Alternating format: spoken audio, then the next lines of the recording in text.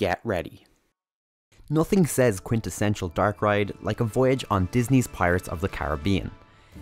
It's the classic attraction that probably springs to mind when you think of a boat ride. The attraction has been replicated in five of the Disney parks across three continents. The original, of course, comes from the park that started it all, Disneyland.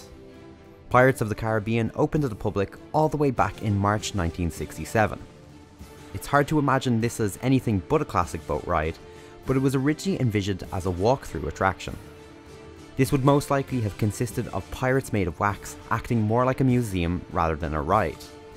Thankfully for us, the visionaries at Walt Disney Imagineering changed their mind on the original concept, although this was really thanks to another classic attraction that many will know. It was It's a Small World that premiered at the 1964 New York World's Fair that really helped popularise the idea of an indoor boat ride. The ride proved so popular at the fair that it was decided that the concept should be replicated for the California park. The concept has predominantly stayed the same across the various Disney parks, albeit with a bit of an upgrade for the Shanghai Disneyland version, which opened in 2016.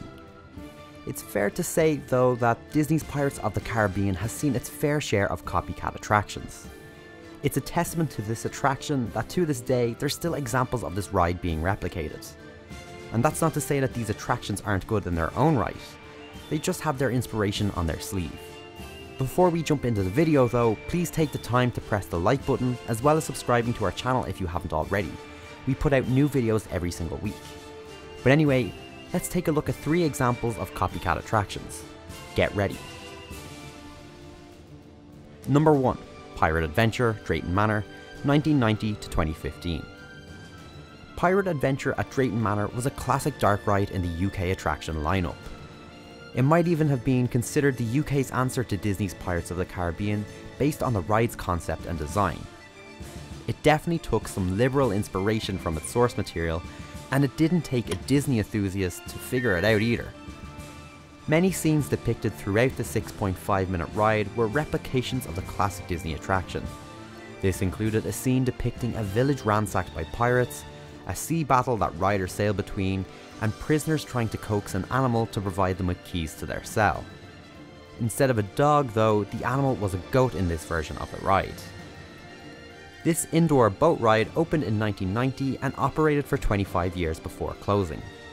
For its time and further the ride was located, it was generally well received. The UK is known for not having too many dark rides, so an indoor boat ride was something of an anomaly. As it aged though, the ride started to lose some of its charm. Instead of being a well done knockoff, it began to deteriorate and lose some of its polish. With the recent investment Drayton Manor have put into retheming their current attraction lineup, it would be interesting to consider what it could look like today. But alas, for now, it's just another UK dark ride lost to the hands of time. Number 2. I Corsari, Gardaland, 1992 to present day. I Corsari is another example of an indoor family boat ride that most likely wouldn't exist if it wasn't for Disney's Pirates of the Caribbean. The original version of I Corsari took many liberties from its source material. Similarly to Pirate Adventure, there was a scene featuring a village with animals, as well as a sea battle the track would flow between. Pirate skeletons would also feature throughout, giving some of the more horror elements of the Disney attraction. The ride has since gained some notoriety based on one terrifying animatronic. Although Gardaland may not be known hugely on an international level, one sea monster featured in this ride has gone viral. It has the body of a sea serpent but the face of a human man, and it's absolute nightmare fuel. The original version of the ride ran from 1992 to 2018 before the ride went down for a substantial refurbishment. Similarly to Pirate Adventure, the attraction had started to show some wear and tear, but instead of shutting the ride, it reopened with some new and modern additions. The new version further embellishes the spooky aspect of the pirate tale, following a more ghostly theme. In a move that probably resembles that of Shanghai Disneyland's Pirates, the ride now deploys several screens. The screens add to the narrative, while projection mapping further helps immerse riders into their surroundings. Interestingly, the ride also uses the voice of Pietro Ubaldi. He has provided the voice of Captain Barbossa in the Italian dub versions of the Pirates of the Caribbean films, as if the inspiration wasn't clear enough. Number 3. Pirates in Batavia, Europa Park, 1987 to present day. Pirates in Batavia at Europa Park is the oldest ride to feature on our list, but is probably the best of the bunch. The attraction has a bit of a troubled history however. In May 2018, a devastating fire saw the whole attraction burn to the ground, as well as a portion of the Scandinavian area of the park. However, the ride was completely rebuilt from the ground up and is now one of the best dark rides in Europe. The attraction takes guests on a boat ride through the Dutch colonised Indonesia, it therefore has a more eastern theme than the standard tropical feel of Disney's Pirates of the Caribbean. Although with that said, there's definitely some concept and scenes which seem to directly correlate to the classic Disney attraction. The ride features similar scenes, including a pirate raid on an Indonesian village. Pirate prisoners are also seen locked in cells at one point.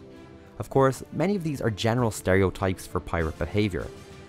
But without the Disney version, we probably wouldn't have this attraction today. And another obvious influence is the fact that Pirates in Batavia also features a point where the ride travels through a restaurant. Both the original Disneyland and Disneyland Paris Pirates have restaurants inside the ride.